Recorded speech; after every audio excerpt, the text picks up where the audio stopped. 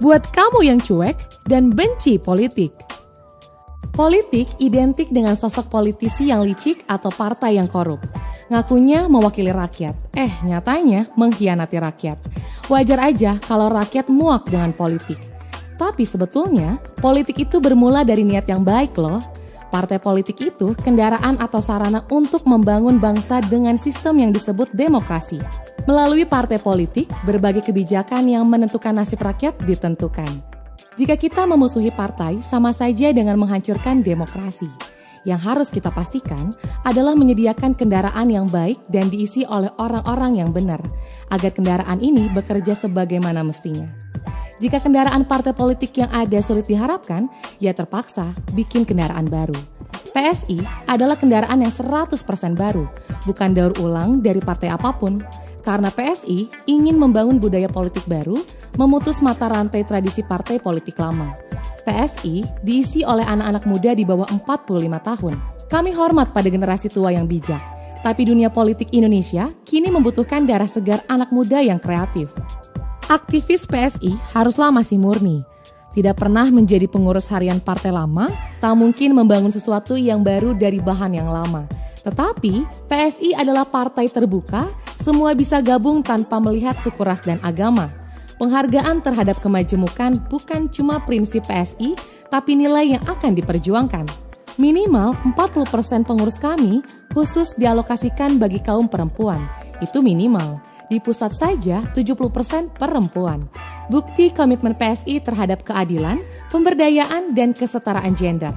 PSI memang bukan partai agama, tapi nilai agama menjadi nilai individu yang dipraktekkan dalam etika, bukan retorika.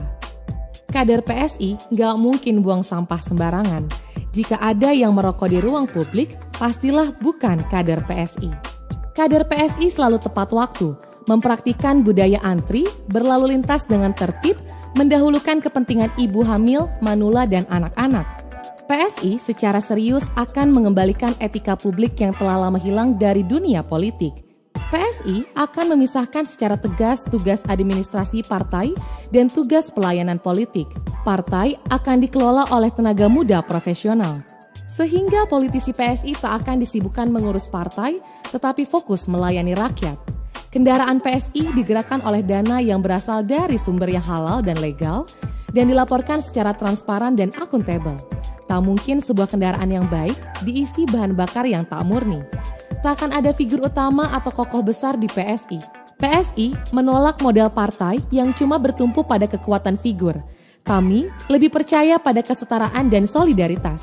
Dengan modal solidaritas itulah, kini muncul pemimpin-pemimpin muda dan kepala daerah yang membawa harapan.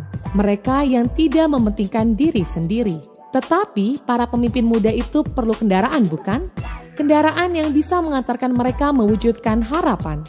Nah, karena itu, dengan semangat solidaritas nasional, PSI akan menjadi kendaraan baru membawa spirit baru untuk Indonesia yang baru. PSI adalah kendaraan bagi siapa saja orang-orang baik di negeri ini. Kini hanya ada dua pilihan, mengutuk kegelapan atau menyalakan lilin, mengutuk politik dan membiarkan orang-orang korup merajalela, atau menjadi orang baik yang siap mengambil alih kendali atau kemudi menciptakan perubahan.